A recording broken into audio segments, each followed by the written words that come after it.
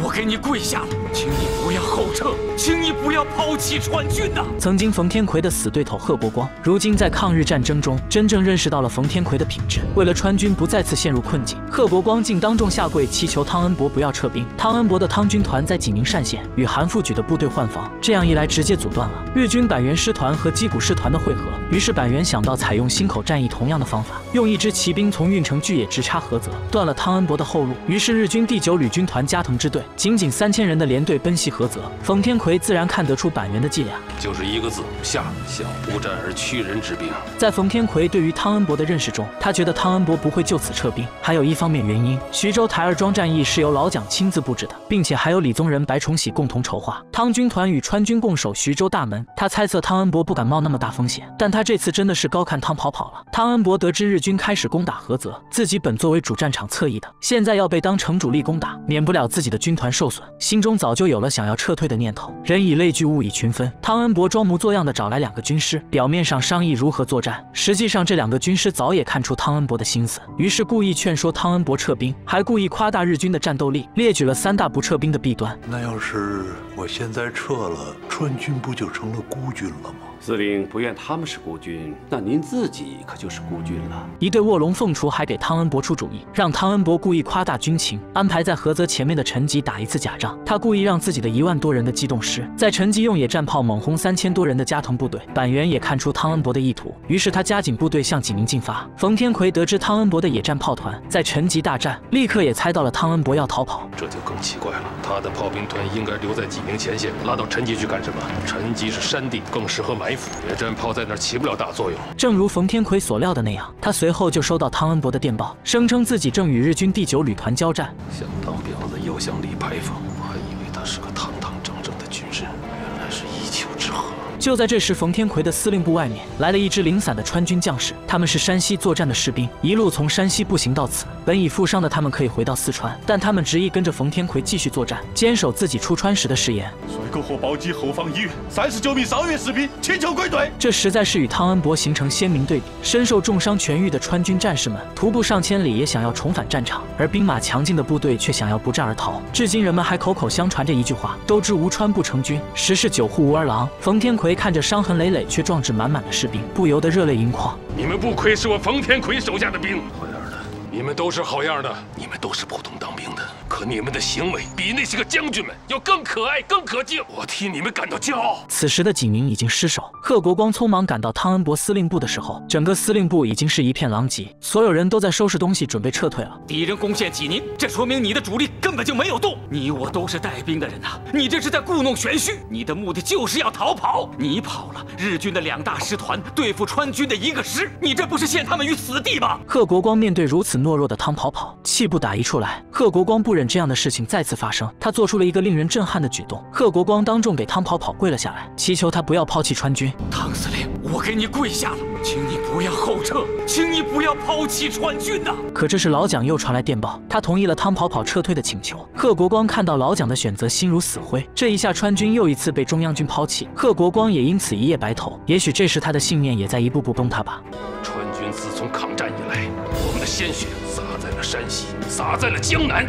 天呐？就让我们再把自己的鲜血洒在这块齐鲁大地上吧。冯天奎的一生经历了无数次磨难，一次次又从死亡陷阱中爬出，但这次不同，这一次是为了国家和民族。这一次他退无可退。老蒋为了保留中央军的实力，同意了汤恩伯的撤退。李宗仁得知汤恩伯的行为，也仅仅是训斥了他，但是不仅没有增派援兵给冯天奎，还要求冯天奎坚守阵地，为徐州会战的准备拖延时间。冯天奎一个师一万多人，可是却要抵挡日军最精锐的五万多人。这一战，冯天奎很清楚是一场恶战。贺国光也清楚，他曾经处处为难川军，可为了保住川军，也低声下气求情。川军自出川抗战以来，在中国各地都留下了烈士英魂，他也没有办法为川军博得一线生机，只给冯天奎发了一封电报，仅仅四个字：祝你好运。击鼓也给冯天奎发去劝降电报，冯天奎只看了一眼，便将之前击鼓给他下跪的照片发了回去，并且附上“龟儿子”三个字。击鼓收到后恼羞成怒，决定立刻向冯天奎发起进攻。面对必死的处境，冯天奎在最后一次作战会议上，也明确的向所有川军军官们说明，我们的任务就是要在这里坚守至少七天，为台儿庄大战赢得时间。可敌我力量的悬殊，你们大家都是知道的，所以这条路是一条死路。我们面对的日军，号称精锐中的精锐，要想阻挡他七天，那就需要我们有非凡的勇气和大无畏的牺牲精神。你们都是跟着我冯天魁出生入死出来的，我不想阻拦你们。如果你们有谁不想参战，你们现在就可以走。我冯天魁绝不会责怪你。在座的所有川军现在都知道，他们接下来的作战将没有任何胜利的希望。但所有将士都记得，日寇不出，绝不回川。所有人都昂首挺胸，做好了赴死的准备，没有犹豫，眼神中充满了坚定。冯天魁看着他们，心中感谢，悲壮的泪水也浸湿了眼眶。我的好兄弟谢谢你们！我相信远在四川的父老乡亲们也在感谢你们。冯天魁只身站在城楼上，看着远处将士们积极的修筑防御工事。他们都知道自己即将面临的是什么，但依旧没有一个人选择退缩。炸完金浦县的击鼓看到了城楼上的冯天魁，想要直接扔炸弹，直接将他解决。但冯天魁站在城墙上，淡定地看着，没有露出一丝恐惧。金浦县被炸毁，这就导致徐州的补给再没法跟上。冯天魁的部队本来装备就差，这样一来更是雪上加霜。好在川军第二十二集团军为冯天魁调来了一个师镇守平邑，这样一来，冯天魁藤县的侧翼压力就会减弱，他的一二三旅就可以调回来增援。冯天魁安排好作战准备，同时吩咐罗家烈，还有今天晚上打个牙祭，让所有的士兵饱餐一顿，酒肉随便吃。过了今晚，就再也不会有这么宁静的日子了。大战在即，所有将士都异常的平静。郑冲在一旁吹起了口琴，琴声中充满思念。众将士轻声跟着音乐开始合唱。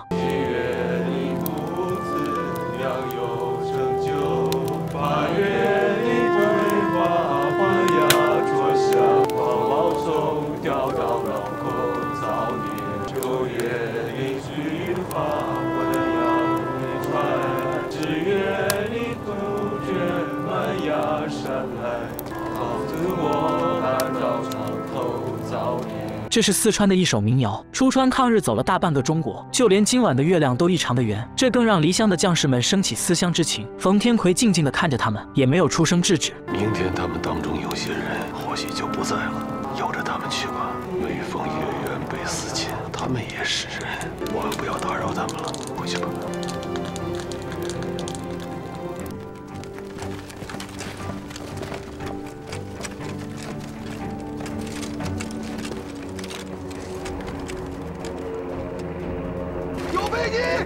隐蔽，快！我参谋长高超，血战血还！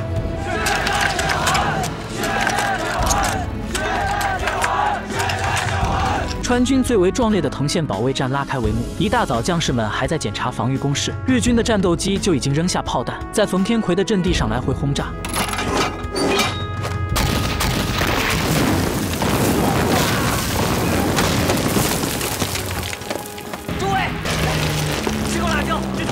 日军轮番轰炸攻击，使得川军死伤惨重。尽管如此，川军也打退了日军的两次进攻，根本没有攻下藤县防线的第一层。但是川军人数不占优势，长久打消耗战无疑吃亏。于是冯天魁打算把队伍撤回不远处的界河，当日军渡河过半的时候进行攻击。这样一来，河中的日军就成了活靶子。在河边多埋伏点枪法好的士兵，要做到一枪一个，尤其是打当官的。但是这时又传来新的战况，陇海铁路被敌机炸毁，河南境内又遭遇了大雨，台儿庄战役中部队调动很困难。李宗仁再一次要求冯天魁坚守藤县，把握住徐州的大门，争取更多时间。同时，他又强令汤恩伯调来一个师。冯天魁听到汤跑跑更头大了，又是汤恩伯呀，没别的部队了吗？听到是他来增援，冯天魁只当没有增援。击鼓也被冯天魁惹怒了，他不管不顾，一定要在天黑前渡过界河。但正如冯天魁计划的那样，日军在界河中间根本过不去，川军成功的守住了藤县，坚持过了第一天。今天为了抵御日寇疯狂的进攻，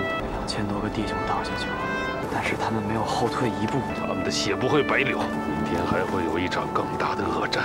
日军的飞机、大炮在川军钢铁意志面前没有了一丝一毫的作用。击鼓为了攻下川军防线，他在第二天的抗战中再一次启用了毒气弹，川军们毫无防备，导致绝大多数将士丧命倒下。日军趁乱发起了进攻，夺下了界河阵地。一二六旅受到敌人攻击，范旅长身受重伤，无法指挥作战。罗家烈听到这个消息，立刻自告奋勇奔去了最危险的前线。不需要他们，只要他们走。放屁！不危险，我罗家烈，老实人干什么？走！罗加列立刻加入战斗，整个一二六旅奋力阻挡，日军也仅仅渡过界河一部分。他们又增加了一千作战人数，整个一二六旅也剩下不足两千人。看着在眼前倒下的战士，罗加列悲愤交加，亲自端起机枪爬上战壕，奋力反抗。日军的攻击越来越猛，还不断的用飞机往下扔炸弹。罗加列直接用机枪对着敌机扫射。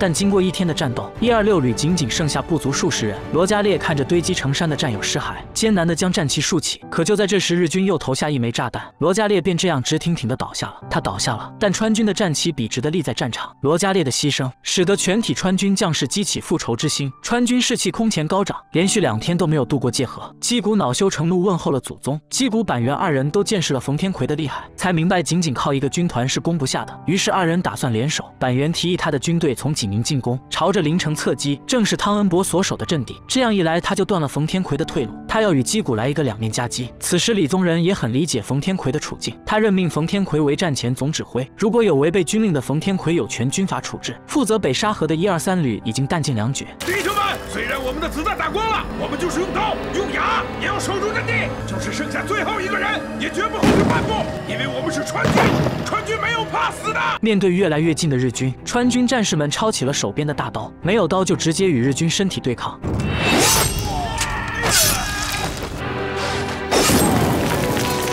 北沙河战况惨烈，而板垣师团此时也开始进攻临城。汤军团的王吉安直接不战而逃，还信誓旦旦来到了冯天魁的司令部。我就是知会你，我们现在已经从临城向鲁西南方向攻击前进，我给敌人留了一个空城。